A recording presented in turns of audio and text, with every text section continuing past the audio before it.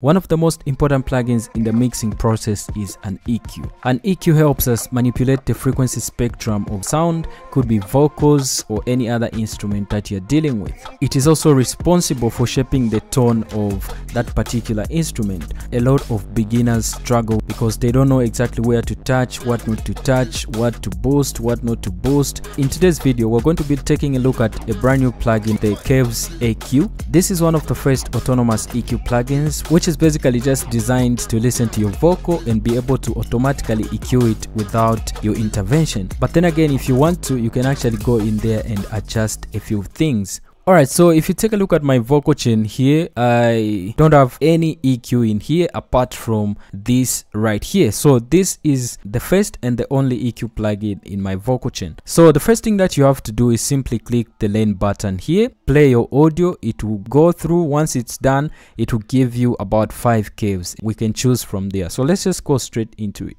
My baby Isa tuchimfu the sweet cabanosa Palama, palama, my baby. It's a Isa tuchimfu the sweet cabanosa Palama, palama, Alright, so this right here is what I get and these are the curves right here and it identifies my vocal as male vocal right here. You can actually come to vocal and choose if it's male or female but it has identified this as a male vocal which is okay. And then what I'm going to do is listen to which one sounds great for me.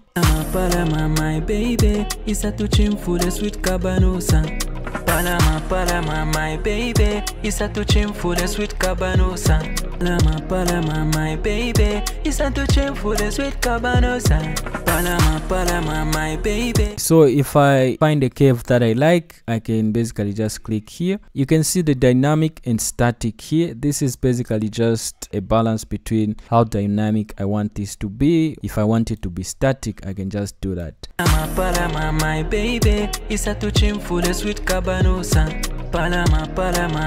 The blue one here, these are the cuts and these are the boosts. So this is where you adjust them. If you feel like the boost is just too much for you, you can adjust using that the cuts using this. This just adjusts the entire curve you know? So when i do this it pushes them more and just like that. So you actually have a lot of other functions. You can go to advanced uh, where you can increase the precision. You can see that they become smaller and a little bit more precise when it comes to attacking stuff. But you would want your eq to be a little bit broad you know and a bit dynamic. For these individual frequency bands you can actually boost or deal with the cuts like that reduce them a little bit.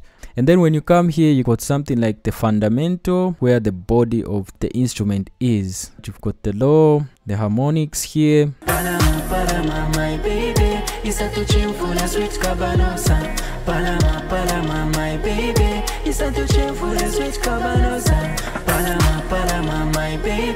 Isa baby Isa tuchimfu the sweet cabanosa Palama, palama, my baby Isa baby Isa tuchimfu the sweet cabanosa.